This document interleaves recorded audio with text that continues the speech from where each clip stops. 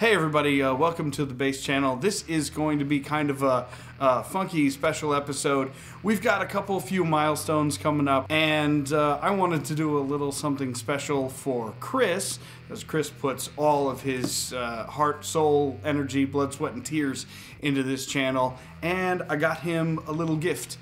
All right, we're giving we're giving this guy this box. All right. Uh, There you go, bro. It's not wrapped or anything. As soon right. as you open it, you will see it. oh, what the fuck? That is the coolest shit I've ever seen. What is going on, everybody? Chris from the Bass Channel here, and welcome to what is shaping up to be the most special Fuzz Friday of the year because today, Friday, April 1st, if my calculations are correct, the Bass Channel should be crossing the 100,000 subscriber mark. So, to celebrate this milestone, we are taking a look at the custom Bass Channel edition of the Basstard from Sine Labs.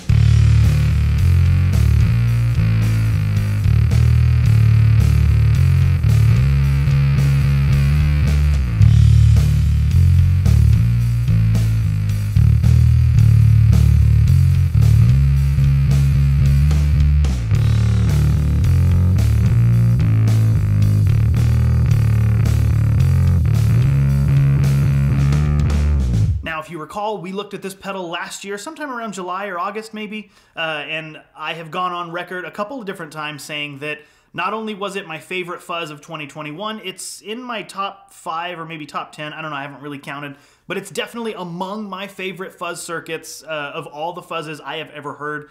This is up there with the best for me and what I want to hear. That, thing sounds awesome. That is probably in my top 10 fuzzes of all time, but my probably favorite fuzz of this year.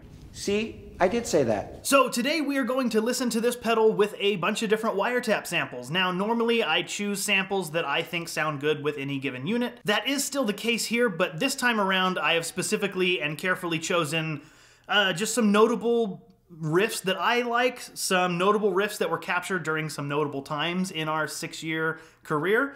Uh, and some riffs that you've probably never heard before, and once you hear them, you'll see why. Uh, so let's get on with it. This first one that we're going to hear was the first wiretap riff we ever recorded, which I believe was March of 2018. Actually, I believe it was March 23rd of 2018. Uh, I could be wrong on the specific date, but this is the first wiretap riff we ever recorded.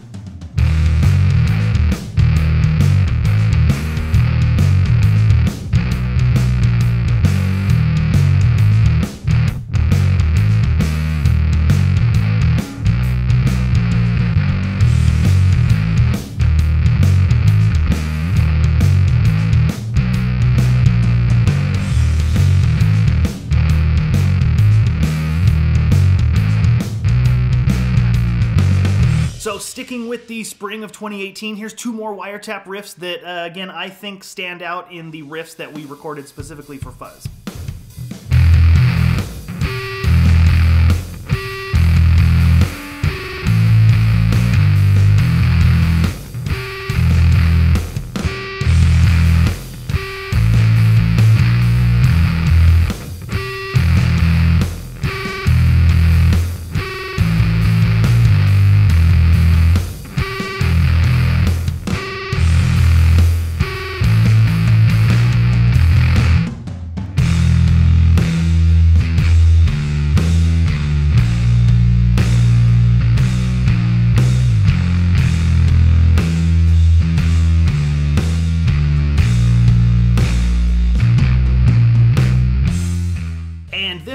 Here, uh, we rolled when we did our Dunlop Tortex size shootout. We did all of the colors for the standard Tortex pick. Uh, now, the one you're going to hear, I don't remember which color. Might be yellow, might be orange. Uh, but it's the green Fender PJ with the geezer pickups that everyone seems to really like. I like it too. Uh, so here is a clip from that video.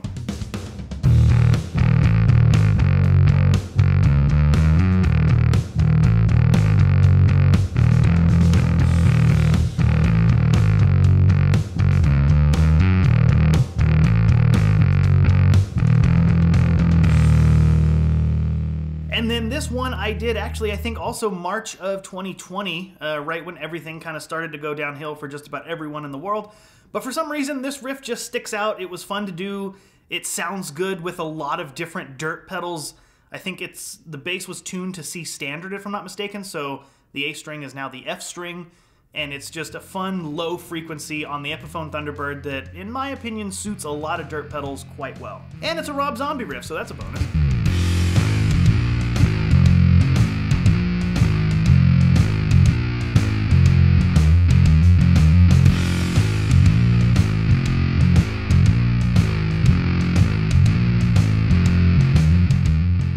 Okay, so as you guys have heard me say over the last however many years it's been, the wiretap is awesome because it alleviates schedule problems. It, it, allows me to have the same effect of having multiple players in the room, even though I can't get them in the room at the same time. But there's plenty more advantages to that. One of them being is I can wiretap shows. I can bring a camera, I can bring the wiretap pedal, put the wiretap first in the signal chain after the bass, and I can capture whatever that given player played at the show. Now, naturally, sometimes getting the audio from the rest of the band is the struggle, but it came out of a time when we would shoot like delay pedals or weird, wacky effects, and we would do it live off the floor. We'll do it live! Fuck it!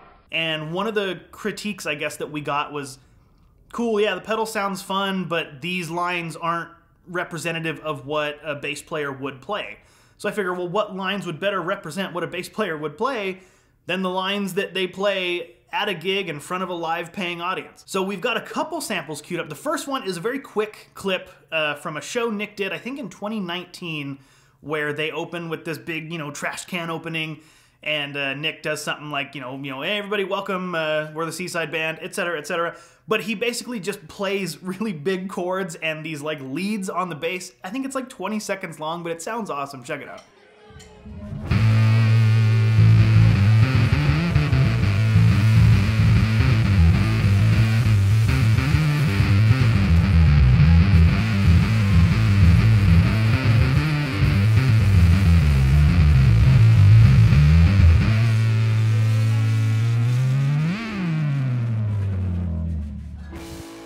Okay, so I mentioned in the beginning of the video that you're gonna hear some wiretap riffs that you have not heard before for good reason.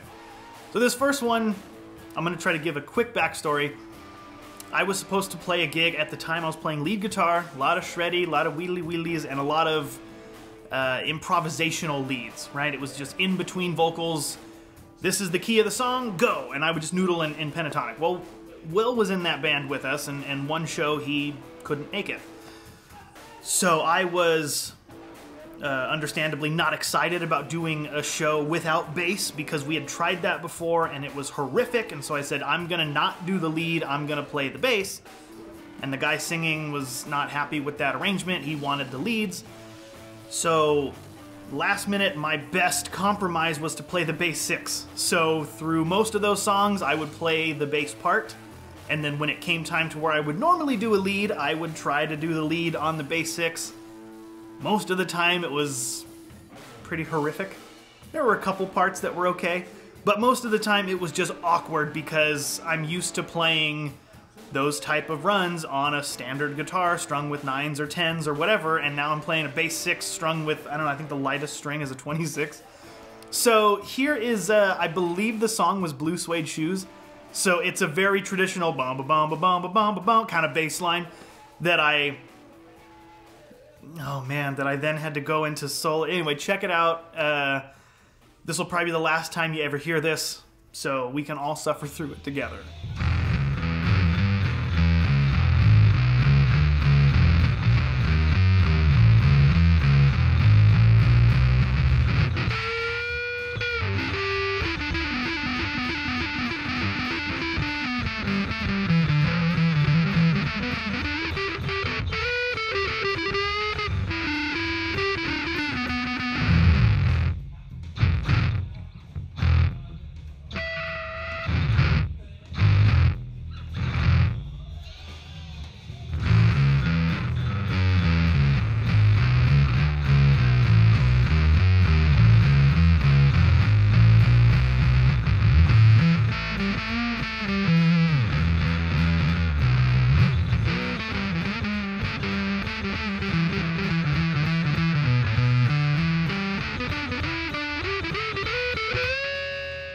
So uh, I'm sure you can see why we haven't used that. Um, here's another one we haven't used from a live show. Uh, this time it's Josh playing. I was playing drums, Josh was playing bass. We were doing a King's Revenge acoustic thing, and I was filling in.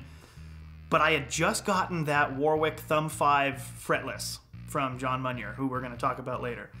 And I thought, you know, how cool would it be to play a fretless at an acoustic gig?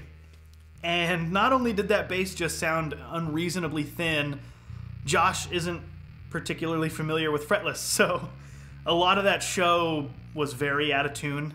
um, but here's a clip of it. I don't remember what song it is. If it, if it comes to me in the editing, I'll put it in the somewhere over here on the screen, maybe just giant over my face. But here's Josh uh, playing a live gig with a fretless Warwick Thumb 5.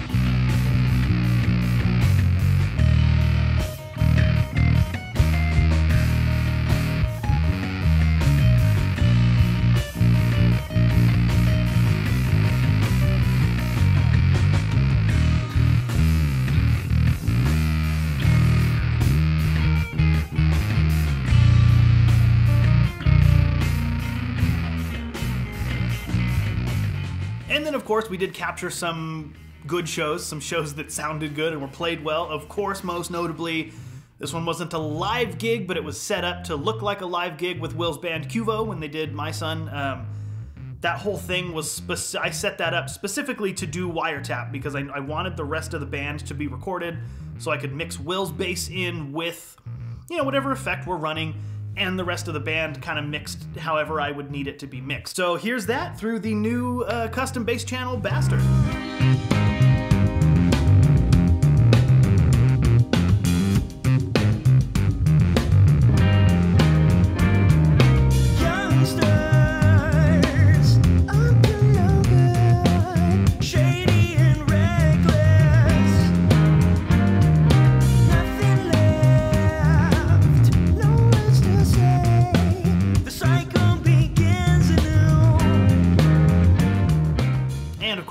Years back, I also made it out to.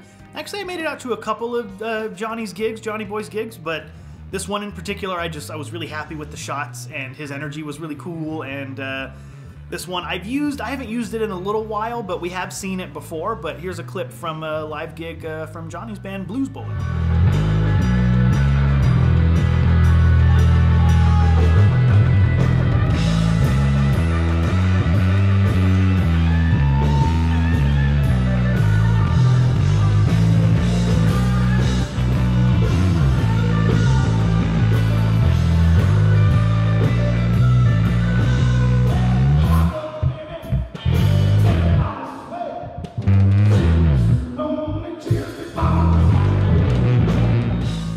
Said, this is going to be a little bit more of a self indulgent episode. Uh, we're not going to spend a tremendous amount of time talking about the inner workings of this pedal.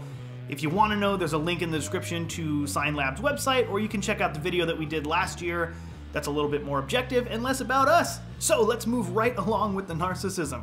Uh, over the last six years, the lifetime of the channel, uh, I have been grateful and we have been fortunate to go a lot of different places and meet a lot of different cool, really cool people. Most of whom we've done wiretap recordings with. Not all yet, we're getting there, I'm going to. Um, but of the people that we have met and have wiretap clips of, uh, first comes to mind is Divinity Roxx.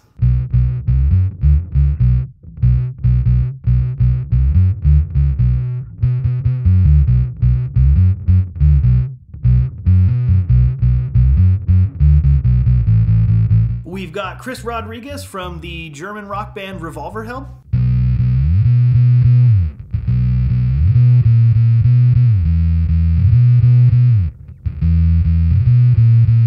We've got Will Shively from Boys to Men.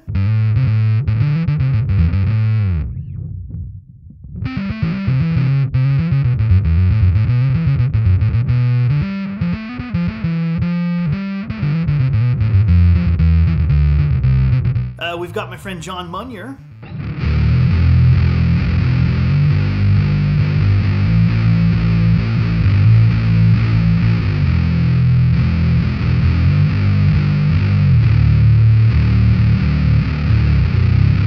We've got Nick Schendzielos from, he's been in a handful of bands, but Cephalic Carnage, Havok, Job for a Cowboy, Nuclear Power Trio.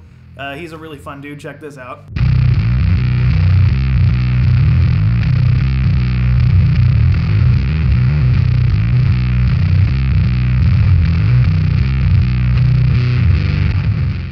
And of course, our favorite, our best friend from Texas, Patrick Hunter.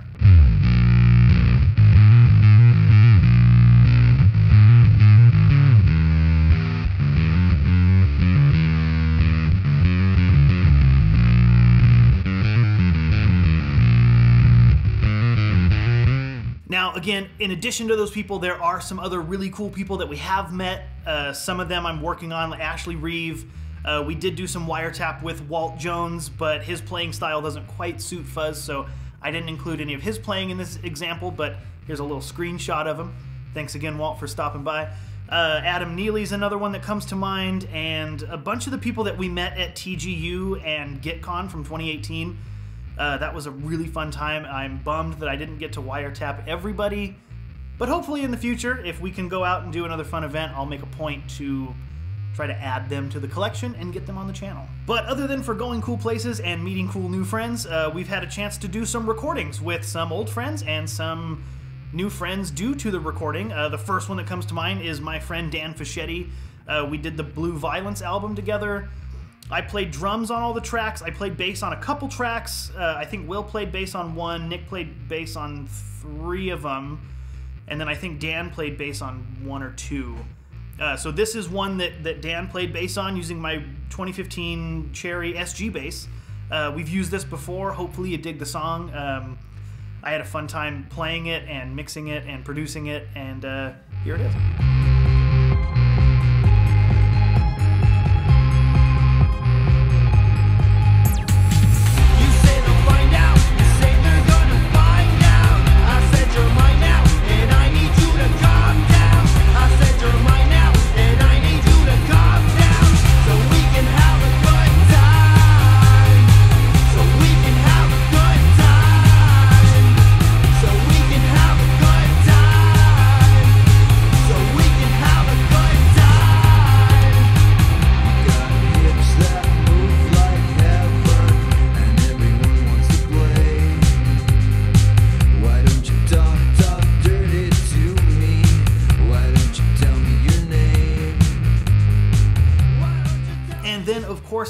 Fun recording project was the Lunar Satan project uh, that kind of came to me in June of 2019.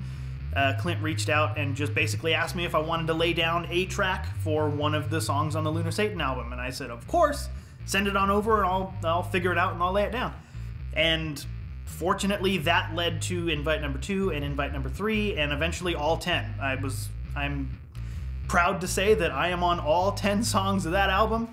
Uh, it was the first, really the first project that I, I'm like, I am the bass player.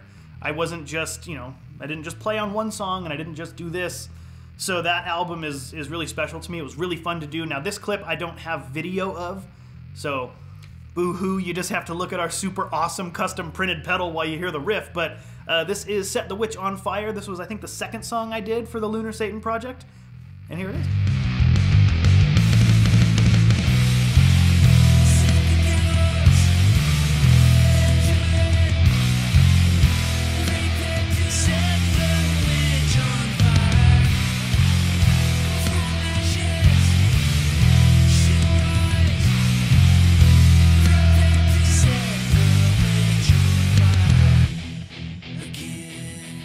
Oh, and let's not forget that time that uh, Toman invited us to do their collab, their shred collab. What was it called?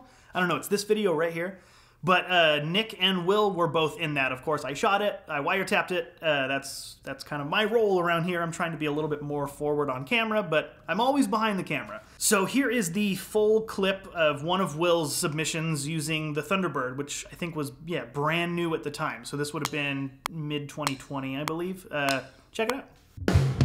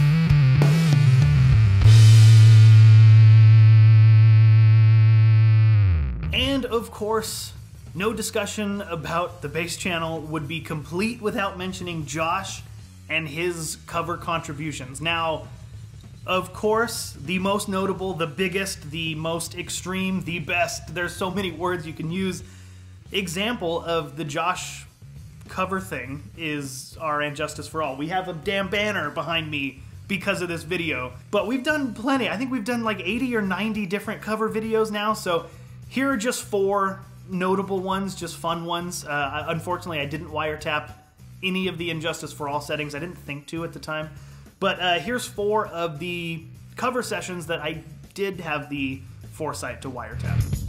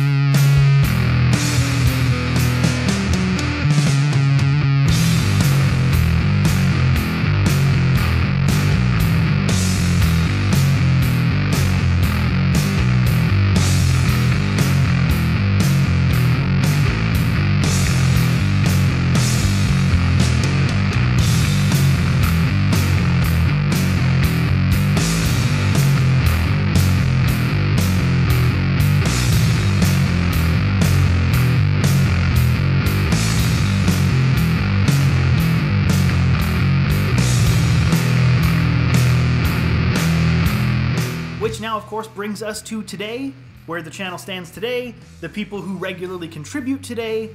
Uh, I am grateful for all of them. Thank you all for being a part of this ride and helping us get to 100,000 subscribers and 20 million views. And I couldn't think of a better use of my time than, than making these videos for anyone who cares to watch them. So, big thanks to Dave.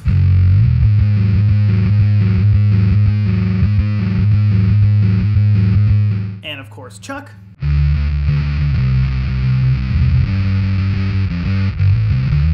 And Doug.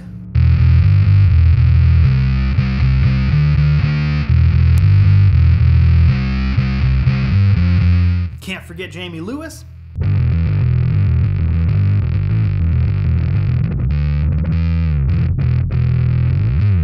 Nick Maffei.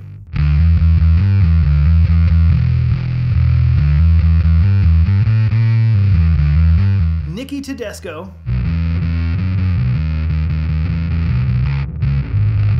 Lily Mitchell.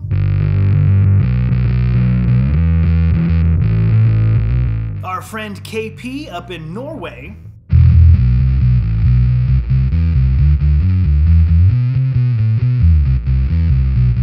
And our friend Chris Chilton out in New Zealand.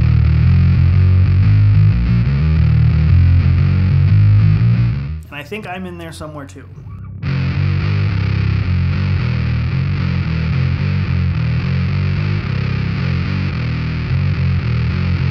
So again, thank you all so much for watching not only this video, but any and all of the videos that you've watched in the past. I really appreciate it. Uh, we all got to this 100K together, whether it be me and the rest of the crew who's in front of the camera, or you at home on your computer watching them.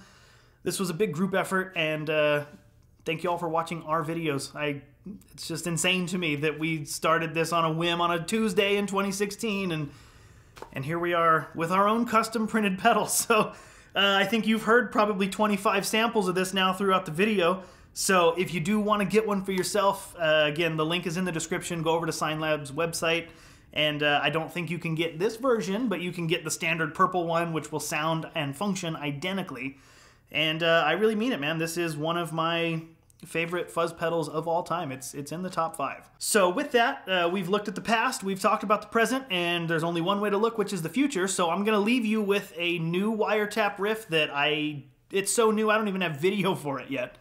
Uh, but Clint Wells recently reached out to me again and asked if I wanted to be a part of his uh, rock album coming out, Stoner Rock album, I think he called it. So here is the first single from that project, uh, which fun fact, I'm going to touch on this later. When the album is done and mixed and out, I'm going to do a whole episode on it. But just for now, spoiler alert, my mission statement has been I'm using Gibson basses for every song. So every song is a Gibson bass.